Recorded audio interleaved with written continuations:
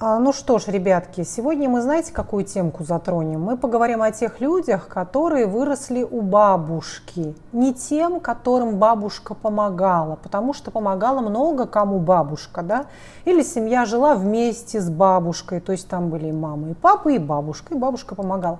Это не считается. Нет, мы будем говорить о людях, которых действительно отдали в детстве. И что, как правило, им сказали? Посмотрите. То есть баба, бабушка за заменила маму.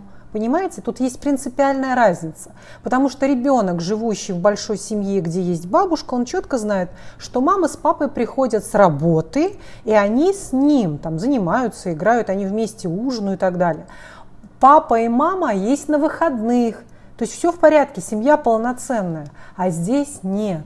Здесь ребенка бабушке отдают, и он живет у бабушки год, два, три, кому как не повезет. Именно не повезет, потому что сейчас расскажу, почему не повезет. Ну, в каком-то смысле, может, и повезет, оторвала вот от кресла писульку какую-то. Значит, в каком-то смысле, может быть, и повезет. Давайте посмотрим, кому повезет, кому нет. В чем принципиальная разница? Бабушка берет на себя роль мамы. И здесь кардинально что другое. Во-первых, что говорят ребенку? Ребенку говорят, это временно, тварь какая-то летит, это временно, я, видите, совсем сейчас я ее убью. Подождите. Убила? Нет, по-моему, я ее не поймала. Ребеночку говорят, это временно, а мама, маме нужно закончить университет, или маме нужно написать диссертацию, мама должна там, сделать свою личную жизнь, выйти замуж. Или у мамы родился ребеночек, он сейчас очень маленький, и маме очень сложно, вот пока ты с нами поживешь. Или климатически, смотри, дорогой мой любимый внучок, мы же с тобой живем в Краснодаре, а мама живет в Санкт-Петербурге. И тебе здесь климатически будет лучше, потому что в Санкт-Петербурге ты очень часто болеешь. А здесь вот у тебя ни соплей, ни горлышко не болит, тебе гораздо лучше. То есть ребенку всячески всячески объясняют, что так положено. И на протяжении долгого времени идут внушения со стороны бабушки. Ну, в лучшем случае это вот такие внушения, как я сейчас сказала. А в худшем случае твоя, твоя мать шлюха, твоя мать проститутка, твоя мать тебя бросила. Ну, все в таком контексте, как в «Похороните меня за плинтусом». Шикарный фильм, который мы с вами не так давно разбирали. Да? Соответственно, тут вот такая роль. Чем бабушка кардинальным образом отличается от мамы? Самые разные на самом деле существуют бабушки, правда? Самый разный возрастной диапазон, самая разная личностная, может быть, характеристика. Однако в целом, если брать группу бабушки, то это женщина, которая старше, правда же? Это женщина, у которой совковый менталитет, она же не выросла где-то в Германии или в Австралии. То есть это советская такая женщина, это особый типаж, все-таки согласитесь, да? Дальше, с набором уже каких-то болячек с возрастом, правильно? Болячек э, самых разных, то есть как начиная от психологических каких-то акцентуаций или чего хуже, каких-то психозов, да, до физического, физического самочувствия. Ну, я не могу сказать, что это обязательно инвалид, ну, то есть все обострилось вот к этим 50, 60 или 70 годам. Да? Она изменила форму, то есть она стала, возможно, чуть более тучная. Дальше, у нее есть гиперконтроль, потому что ребенок-то это не ее, это же ее внук, а когда тебе привели чужого ребенка, ты чувствуешь большую ответственность за него. Если своего ребенка, ну ладно, там одним глазом посмотрел, то когда тебе привели внука, это тройная ответственность, понимаете, да? То есть мы смотрим, чем мамы отличаются от бабушек. Дальше, бабушка, поскольку вот этот гиперконтроль, у бабушек обычно гораздо больше свободного времени, чем у мам. Так? Так. Дальше. Бабушка не чувствует, что ребенок взрослый. То есть, если мама может увидеть, ага, мой ребенок взрослый, особенно молодые мамки, им кажется, что их ребенок в 10 лет уже взрослый, может сам гулять, допустим, на улице, то бабушка даже в своем 18-летнем внуке видит ребенка. Соответственно, она постоянно нарушает его интимные границы, потому что она не понимает, что он вырос, что он уже может заниматься мастурбацией в 14 лет, да, она может э, вламываться, вбегать, она не понимает, она его позорит, она не современная, но бабушки, они менее современные, чем мамы. Бабушка не в ногу со временем живет, правда же?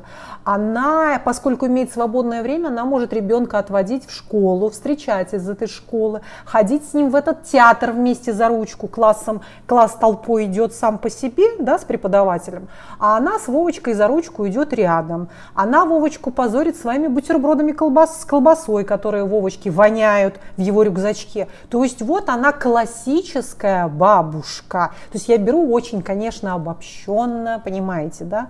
Понятное дело, что, опять же, повторюсь, бабушки могут быть самые разные. Вот я некий такой вот такой общий портрет бабушки беру, как она может ему вредить внуку своему, которого она растит, и как она ему может помогать, короче говоря. Вот такие вот нюансы, да, потому что у бабушек вырастают перфекционисты. Вот забегая вперед, это такие хорошие, правильные люди. Понятное дело, что могут вырасти и социопаты, и от обратного все пойти. Но в целом всех тех, кого я видела, людей уже взрослых, да, будучи взрослыми, которых вырастила бабушка, это такие достиженцы, хорошие, правильные люди, хороший мужчина правильный или правильная, хорошая женщина. Да? Ну вот и все. Короче говоря, дальше, что я хочу еще сказать, чем бабушки отличаются от мам. Ведь бабушка, которая берет на себя ответственность быть мамой, как бы такая странная мама получается, она ребенка наказывает, она берет на себя эту ответственность, потому что у нее ребенок должен быть в правильном вовремя ложиться спать, он должен у нее хорошо учиться, она имеет эту гиперответственность над внуком, правильно? Она его часто перекармливает, у бабушек очень часто избыточный вес у детей, когда отдают, она его может перекутывать, то есть излишне тепло одевать, да, переживать за него. И он как дурачок у нее с каким-то, внутри у него под школьной формой будет какой-то бадлон, какая-то дебильная внутри связанная жилетка, да, какие-то теплые панталоны, какие-то колготки она может на него нацепить, женские в возрасте уже там 12 лет, к примеру, заставить его эти колготки носить, да. То есть она постоянно, ну, делает что-то не, не очень адекватное, к примеру, да не очень адекватно. Соответственно, что у нас еще отличается? Так вот, бабушке наказывать ребенка как бы для самого ребенка нельзя. Она же не мама. Вот наказывать меня может только мама, это ее как бы право, а у бабушки такого права нет. И она меня не имеет права наказывать, ну а бабушка наказывает, потому что у нее должны быть сделаны уроки, правильно? Должен ребенок вовремя лечь спать, ребенок должен поужинать, позавтракать, пообедать, жопу ребенку надо вытереть, то есть за ребенком надо следить, подстригать может, бабушка сама и как-то по-дебильному, какую-то стрижку вот дурацкую, кривую челку какими-то там этими ножницами, да, лесорубными ему состригать. То есть вот все такое, что проделывает бабушка, в отличие от мамы. И что ее кардинальным образом отличает от обычных бабушек, которые к внученку приходят помогать или к внученку приходят на выходных. Они, вот эти, которые приходящие бабушки, несут в себе роль, ой, я такая хорошая, покупая вот эту любовь и дружбу подарочками, пряничками, да, всем бабушка все разрешает, то есть это другая бабушка, да, она все вот внучку покупает, денежки сует, вот хочет всячески купить его любовь. Здесь бабушка другая. Она этих вещей не делает. И эту роль бабушкину да, берет на себя мама, которая приходит в гости. Вот она приезжает из Америки, мама в Америке живет, допустим, там вот мама э, где-то там, я не знаю, что там, нашла какую-то работу в Америке прекрасную. И вот она как ангел белый прилетает домой к ребеночку, к сыночку, которому 12 лет, да, и втирает ему в уши, я тебя скоро заберу, еще чуть-чуть потерпи. На чувстве виновности это мама ангел из Америки или откуда там из Норвегии, Швейцарии, сказочной страны прилетает, дарит какие-то подарочки, да. Ну вот вспомните, похороните меня за плинтусом. В принципе, это очень такая классическая сцена, но утрированная, конечно же, да, а, в том плане, что вот в его случае, это Павел Санаев, да, Э, Павел Санаев, да, все правильно. Он написал вот эту книгу, писатель, и вот он и самый сценарист, и сам он актер, талантливый очень человек, да, написал вот то, как он рос с бабушкой. Но здесь в данном случае не любая бабушка такая, мы же сами понимаем, да, тут бабушка была у него очень садистичная в «Похороните меня за, за плинтусом». Так вот, и вот мама прилетает с подарочками, пытается купить любовь ребенка, да, мама прекрасная, мама друг, да, и вот тут вот видим самое страшное, что происходит во всей этой ситуации, это не формируется правильная привязанность между матерью и ребенком, между ними формируется просто дружба, то есть мать не чувствует, что это ее ребенок. И ребенок, вырастая, не чувствует, что это его мать. Они просто дружат. Они вот такие хорошие друзья. Но вот эти очень, очень ну, у меня много друзей, мне не надо друзей, мне нужна мама. И получается, что ребенок в своем детстве, да, которое он прожил с бабушкой, лишился самого главного. Он лишился своей матери. И потом он ее не сможет обрести никогда. Никогда. Да, она его может забрать там через какое-то время, но все. Вот эта связь очень правильная, да, вот эта пуповинка, она утрачена этого нет, она не сформировалась, вот эта очень правильная привязанность между матерью и ребенком. Все это просто такие, ну, друганы. Все. Он, у них даже очень у многих детей, которые выросли у бабушки, есть трудности с тем, чтобы назвать маму мамой. Они могут называть там Лариса, Таня, Валя, маму даже. Вот язык как будто бы не поворачивается маму мамой назвать, понимаете, да? потому что оно вот так вот все трудно сформировано. Так, что еще я рассказала? Не рассказала. Ну и, соответственно, а, это же социально неодобряемо, сейчас чуть-чуть, да, вот про этих женщин, кукушки такие, которые бросают детей. Это же очень социально неодобряемо сказать, «А, забери, мам, моего ребенка, потому что он мне мешает. Ребенок мне мешает. И поэтому говорят, ну, мама, мне нужно университет закончить, видишь, я молодая, я там на трех работах работаю, или я родила ребенком, я сейчас поехала на заработки, 33 отговорки какие-то со стороны мамы. И очень часто бывают властные такие бабушки, мамашки, давай, Люда, Куда? Я сама справлюсь, ты давай-ка поезжай, куда ты там на север едешь. Едь давай, он у меня нормально вырастет, нормальным пацаном, я а, за ним позабочусь. То есть такие созависимые бабульки есть, да? которые берут на себя эту ответственность, взвешивают на себя этого внука и тащут его. Очень, очень часто это бывают властные бабушки, женщины настаивают на том, чтобы внук жил с ними. Все, вот так же, как в этом фильме. Но бывают и просто такие обычные бабушки, и там, в общем, такая вертихвостка мама, которая сбагрила этого ребенка. Короче, в любом случае этот ребенок мешает, и она ребенка бросает. Понимаете, в чем дело? Но когда ты начинаешь работать с взрослыми людьми на психотерапии, они, конечно же, когда вырастают, попадают к психотерапевту. Я ни одного из них, а у меня их очень много было, не встретила, чтобы кто-то из них сказал, что мама меня бросила. Ни один не сказал, маме, мама меня бросила. Каждый первый грудью на амбразуру кидался. Мама святая, мама ангел, мама сделала все правильно, у мамы не было выбора. Э, так сложились обстоятельства. Вот. То есть это, и вот он свято несет, так сложились обстоятельства. Попробуй вообще тронь маму, мама святая. И только спустя какое-то продолжительное время, очень длительной психотерапии, человеку приходит мысль, что все-таки было что-то не то. И я, допустим, могу спрашивать, ну подожди, вот у тебя у самой две дочери, да, женщина могу спросить. Вот ты э, можешь себе представить, у тебя одному ребенку, допустим, два года, а другому пять лет. И ты берешь и старшего, старшую доченьку, которой пять лет, отдаешь жить бабушке. Ну, потому что у тебя новый муж и второй ребенок от другого нового мужа, у тебя вот семья, ты не хочешь смущать своего молодого нового супруга вот этой доченькой, и ты ее раз, раз, раз, раз, раз, раз спровадила, спровадила, спровадила куда-то. И клиент говорит, да не, не, ну я никогда в жизни так не поступлю. Я говорю, ну подожди, я ее спрашиваю, но ведь твоя же мама так поступила, да? Ну вот мама поступила, ей просто было с двумя детьми тяжело, и муж вот новый, и она не хотела как-то мешать отношениям. Ну так вот как-то сложилось, да?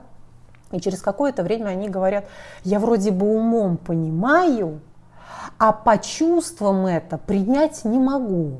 Вот я как будто, мне не получается разозлиться на свою мать, у меня не получается на нее как будто как-то обидеться, у меня не получается впасть в какое-то раздражение и негодование. Мне как будто бы хочется вот по чувствам, что вот она правильно все сделала. Так и надо было, что мне вот отдали бабушке жить. Так, ну ладно. Это я немножечко забежала вперед. Что еще чувствует ребенок, который растет с бабушкой? Ну, очень часто, когда они оказываются в ситуации, допустим, вот его рано отдали, да, ребенок может чувствовать, что он недостаточно, недостаточно хорош, красив, да, для того, чтобы его забрать.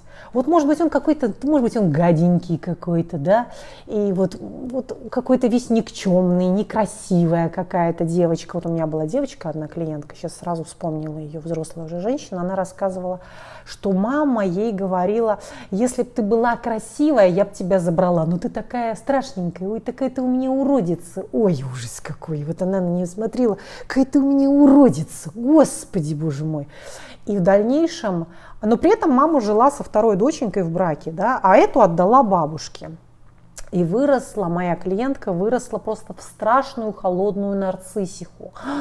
Она такая сложная была. Ой, я с ней не справилась. Она была безумно сложная. Она выучилась на гримера. Она выучилась на гримера, и она накладывала, там работала она в театре и все. И она накладывала себе вот такой слой грима. То есть она из своего лица, которое у нее было, я даже не знала, какое, какое у нее было лицо накладывала вот такой толстый слон, то есть она лепила себе новый нос, накладывала какие-то себе сценические ресницы, то есть она делала из себя, она лепила какую-то куклу, там чуть ли не парики какие-то надевала, понимаете, да, создавала новый образ себя, ей так хотелось слепить вот это лицо новое, да, быть красивой девочкой, быть правильной такой, она надевала с утра, то есть у нее там три часа с утра уходила на то, чтобы одеть какую-то, надеть кружевные какие-то а блузки вот такие. Она надевала каблуки вот на этих, на этих туфлях, дефилировала по квартире. То есть вот такая какая-то была не, не, неадекватная, нарциссическая вообще история. А вот предыстория была вот такая. Да? То есть она росла, она была брошена вот этой мамой такой очень странной, которая говорила ей, я бы тебя забрала, если бы ты была, не была такой уродицей. Собственно говоря, мама может этого не говорить, однако в глубине души у ребенка будет формироваться, что я какой-то недостаточно, недостаточно хорошенький, красивенький, умненький, и я мешаю. То есть я своим присутствием могу помешать. И вот этот ребеночек, который растет у бабушки, он такой вот чувствует, что он какой-то ущербненький, его не взяли. И он ведь как вот, как вот у Бога приходит и в класс такой – то есть ему за бабушку стыдно свою, которая какая-то неадекватная совковая женщина, да, ему стыдновато. В нем видят этого ботанейра, ботаника, у которого сделаны уроки, бадлончик вот этот дебильный одет, этот он по-дебильному подстрижен, да, вот видят, что вот ребенка привели из непонятной семьи, и он себя чувствует тоже непонятным каким-то. То есть все в классе дети, все 30 человек из обычных семей, а меня бабушка вот растит и вот какого-то убогенького за ручку приводит, неадекватно уже совершенно, да, сопли и жопу подтираю. Соответственно, ребенок чувствует себя в классе жертвой. То есть с ним, в принципе, не особо хотят дружить. Он ботанейра какой-то противный, бабушкин внучок такой какой-то, да. Соответственно, дружить с ним не хотят. Он эту дружбу пытается всячески купить, заслужить, всячески ну, быть таким вот, как вы хотите, лишь бы со мной дружили. И он начинает приспосабливаться. Он может начать врать, причем он врет как в классе, он может начать врать, придумывать что-то да, про свою семью, какой у него папа, там крутой космонавт, там мама у него врач, там что-то сочинять. Он бабушке врет, потому что бабушка женщина совковая, непонятная, приходится изворачиваться и придумывать неизвестно что, лишь бы вот как-то выкрутиться и погулять где-то без нее, без ее присмотра. Он у меня мальчик, клиент есть, он воровал у меня вещи, воровал игрушки в магазинах, чтобы дарить другу. И вот он украдет игрушку в магазине, принесет другу и подарит. И друг с ним дружил, потому что тот покупал его ворованными игрушками. То есть он из дома не мог тащить, его бабушка за это будет бить. И он тихонечко пробирался как-то там в магазин, воровал эти игрушки и дарил э, детям, чтобы с ним эти дети дружили. Понимаете, да? Они могут деньгами подкупать детей, пирожки какие-то им покупать, сникерсы, вот покупать эту дружбу, короче говоря. Вот экстра выслуживаться, экстра выслуживаться. И Соответственно, вот в ребенке есть такая какая-то некоторая убогость, угловатость, да, забитость, жертвенность. Они, вот пытаются выслужиться. Значит. Дальше. В ребенке формируется зависимое поведение, поскольку сопли и жопка подтирается до 20 лет бабы, бабой, да, и вот эта баба, ему жопку у меня мальчик один был, и у него, значит, он какал, и бабушка ему попу вытирала очень длительное время. Очень длительно. И когда он был маленький, он кричал, бабушка, я покакал. И бабушка бежала, бегу, бегу, Лешенька, бегу, бегу. И вот она эту жопоньку вытирала. Потом он уже, когда подрос, я не знаю, может, сколько ему там было лет, может, он уже в школу ходил, он понимал, что это неадекватно кричать на всю квартиру, что он покакал. Он кричал такую, значит, фразу. Бабушка, все готово. И баб, бегу, бегу, бегу, Люшенька. Вот он кричал, все готово.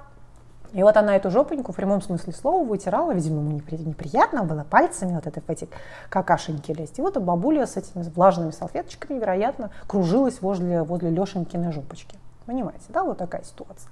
Соответственно, вот эта зависимость, незрелость, детскость, инфантильность сохраняется уже во взрослом виде на протяжении, в общем, до конца его дней. Все. Вот это огромная проблема людей, которые выросли у бабушки. То есть они чувствуют себя, что я маленькая девочка, одна, мир меня может бросить, и как будто мир мне должен, мне же бабуля все время и в рот, и в жопу толкала все. Соответственно, от мира сверхожидания какие-то есть, что мир как будто бы мне должен. Мир мне это не дает. Я вечно на всех обижен вокруг, да, что они все не оправдывают моих ожиданий.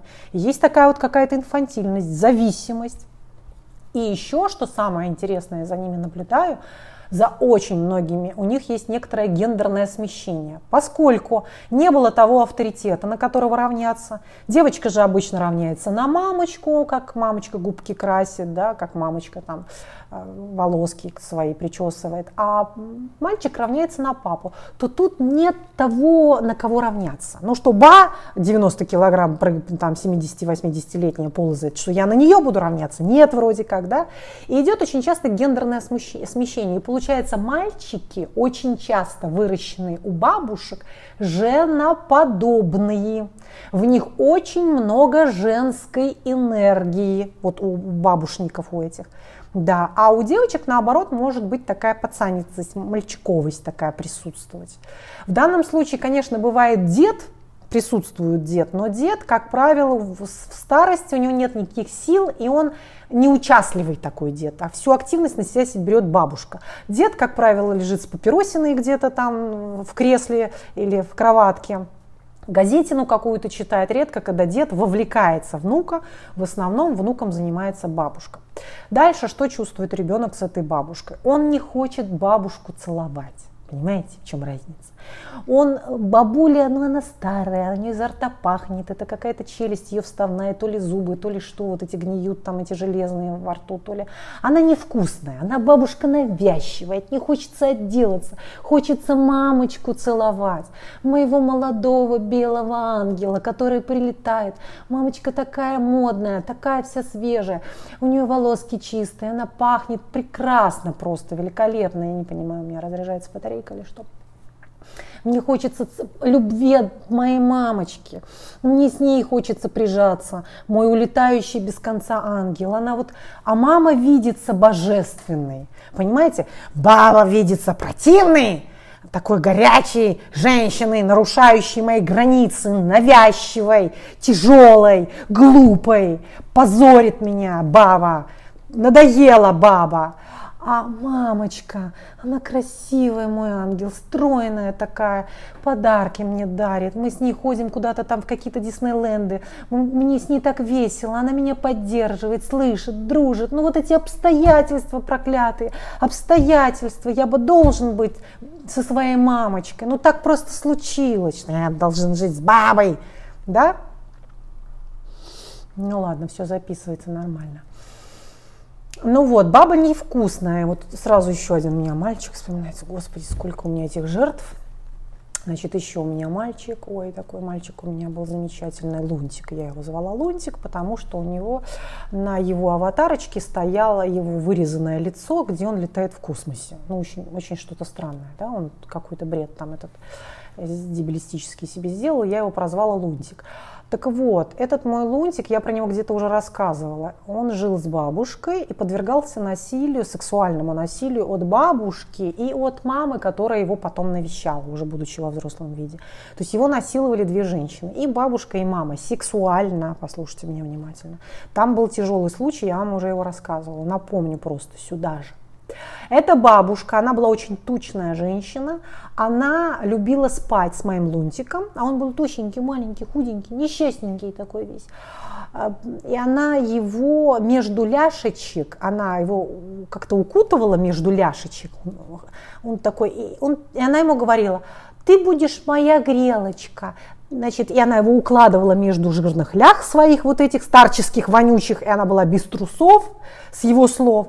И вот он лежал и грел ее всю ночь между ляшечек. Она лежала, эта тучная женщина, бабушка вот эта, моя грелочка. И он ее грел всю ночь. И он говорил, мне было так мерзко, мне было так тяжело, так жарко, эти ее ноги тяжеленные, да, вот эти, может быть, они какие-то были старые, венозные, толстые, не знаю, вот, в общем, он задыхался от этих ее ног, это сексуальное и физическое насилие, понимаете, да, эмоциональное в том числе. И он просто умирал в этих ногах на протяжении вот всего детства, она заставляла быть, исполнять роль грелочки, вот и все. Грелочка она была. Выросла. А, и мама навещала его и сексуально тоже домогалась. Ты мой мужчина, ты, ты будешь моим мужем, ты будешь моим мужчиной. Это были вот такие э, мамины слова. Давай я тебе вымою твою писулечку в ванной. И там всячески она, мать это неадекватная, бегала за этим сыном. Ну, понятно, лунтик мой вырос.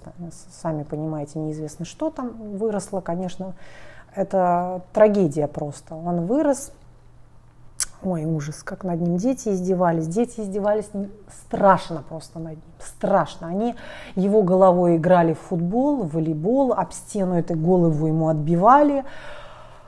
А, тряпкой вонючей, грязной ему в лицо пихали эту тряпку, вбили ему гвоздь в гвоздь они ему вбили обратной стороной и заставляли его сидеть на уроке вот в этом стуле.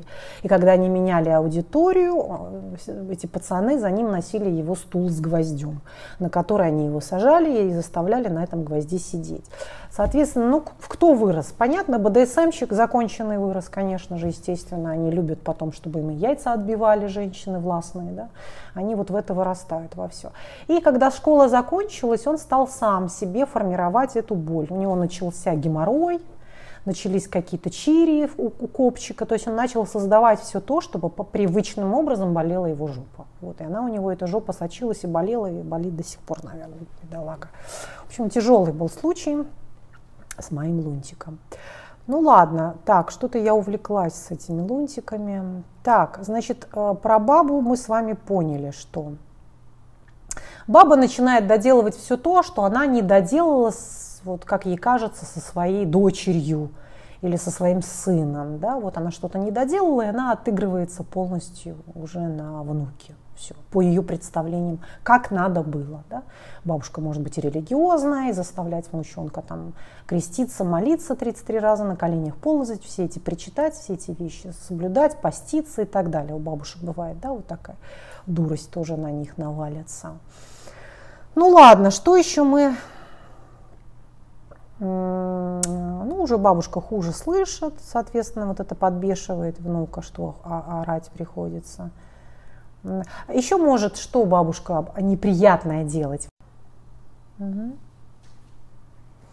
Так, прервалась у меня уже, видите, немножечко прервалась. Давайте я за, буквально два-три слова и будем завершать.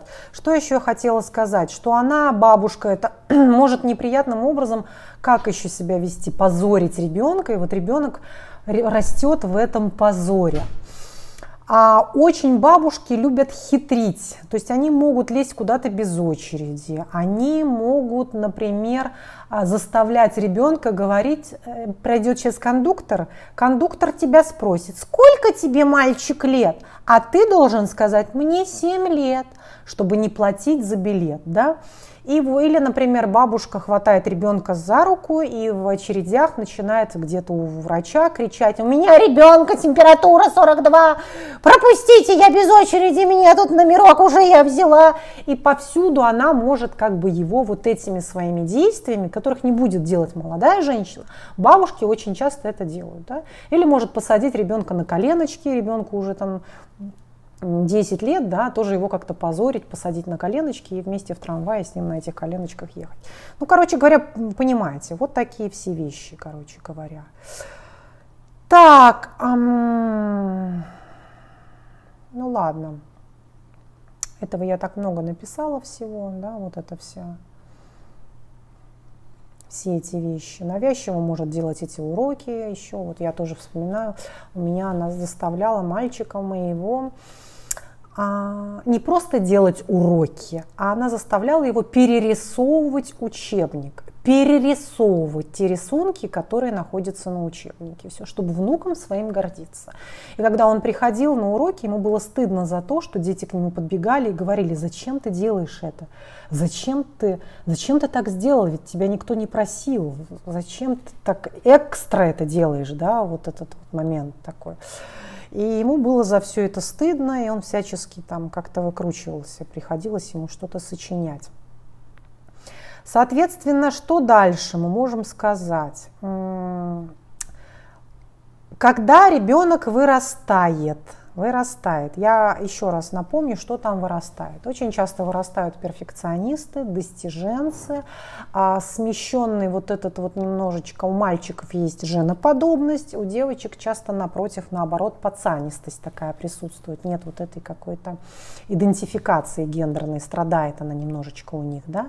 Трусоватые, особенно мальчики, в них нет этой брутальности, нет этой мужественности. Бывает у мальчиков излишняя какая-то интеллигентность, излишняя какая-то мягкотелость, такая, у кого-то есть такая какая-то даже щедушность, какая-то, может быть, угловатость, убогость, нет вот этой, нет основания, нет вот того, что он твердо чувствует себя на ногах, да, нет вот этой какой-то, ну вот что ли, вот что-то такое есть полупрозрачное, что-то чуть-чуть скользкое, приспособленцы такие могут быть немножечко, да. Дальше пытаются, в отношениях они пытаются часто выслужиться, дать тебе экстра, вот. Они очень часто пытаются дать экстра, чем взять. То есть прямо старается, старается, старается, старается услужиться, выслужиться, вот подарить что-то, сделать, вот быть самым лучшим. Как будто я не принесу тебе хлопот. Я буду вот, я буду или незаметным совсем, чтобы не мешать, мамочка, возьми меня обратно домой. И это сохраняется во взрослой жизни. Или же я буду таким прекрасным, таким умным, таким красивым, что ты только гордиться будешь мной, мама. Только гордиться. И также во взрослую жизнь это привносится, да. Люди вы только друзья мои, только гордиться будете мной. Вот это такое у них бывает. Очень сильно развито. Ну, про инфантильность я сказала, это я сказала. Имеют очень большие трудности в близких отношениях. Они очень часто могут быть садюгами. Они вырастают из них, то есть выслужиться где-то с друзьями, да, а вот близкого, близкого человека они могут садировать. Вот как в свое время бабушка, допустим, как-то вот его немножко садировала, да, так он может своего близкого начать садировать. Или же, напротив, быть мазохистом. Вот это БДСМщики такие зач, зачастую. А, ну что, а, и еще часто они страдают депрессиями, Часто они страдают зависимостями, могут употреблять и алкоголь, и коксик нюхать, и игроманить немножечко, да, ну или вот это вот может сохраняться такая зависимость, э, незрелость и детскость. Вот ждут какой-то, что до сих пор мир будет ему жопку и вытирать, и кормить с ложечки. Так, ну, в общем, неадекватные требования, сверхтребования к себе предъявляют и какие-то неясные ожидания в обратную сторону. Да, что еще я хочу сказать? Перверсии частенечко бывают, да, первертики бывают, бывают первертики. Не переносят ласку, объятия, то есть многие из них вот э, не хотят, не терпят вот этого какого-то целования, лобзания, давай вместе полежим, давай я тебя поцелую, понюхаю, обниму, останься со мной, они вот не терпят, очень бывает такое, не терпят. Они там ну вот эта неполноценность, да, ощущение себя неполноценным сохраняется на всю жизнь. И отношения с мамой, они носят очень дружеский характер. Все, они в дальнейшем уже дружат. На, злиться на маму себе запрещают. Запрещают. Не помню ни одного, который бы разрешил себе этот гнев на мать. Ни одного не помню. Все не тронь, мать моя, святая женщина, моя мать, так сложились обстоятельства, не тронь, не тронь, моя мамочка, мамочка мамочка. Часто болезненные детки бывают, поскольку бабушки их кутают, бабушка и плавать ему не дает, и на лыжах покататься нормально не дает, она его залечивает, и какую-то и клизму ромашковую делает, да, и горчичники, и то и все, и ей надо вечно, чтобы он у нее болезненный был. Это тоже такая бывает история. И перекармливают, поэтому такие толстячки часто бывают у них инфантильные, да. Вот, такие беспомощные, трусоватые, врушки, часто врут они, вот, выкручиваются, выверчиваются, выкручиваются, выверчиваются. Все, мои котики, хочу пригласить вас на пятидневный психотерапевтический марафон 3 августа, который у меня стартует. Да? Называется он «Деньги и свобода». Будем с вами учиться зарабатывать хорошие деньги, да? И будем с вами учиться, как их можно зарабатывать вообще дистанционно, чтобы э, жить в любом месте, где только хочешь, и зарабатывать очень хорошо. Все, я этому буду вас учить. Это а, для того, чтобы записаться на этот пятидневный марафон, нужно написать вот сюда, мою социальную сеть «Хочу Вероник на марафон». И я все расскажу. Стоит он 5000 рублей, идет 5 дней подряд с 20.00 до 9.00 20.00 до 21.00 по Москве. Все. Каждый день будем с вами встречаться в моей закрытой, закрытой группке в Инстаграме. Там я буду вам рассказывать, отвечать на все ваши вопросы. Будем делать домашние задания с вами, да, будем очень много писать. Я буду задавать, какой фильм надо к следующему дню посмотреть. Буду очень много ценной, полезной информации вам рассказывать.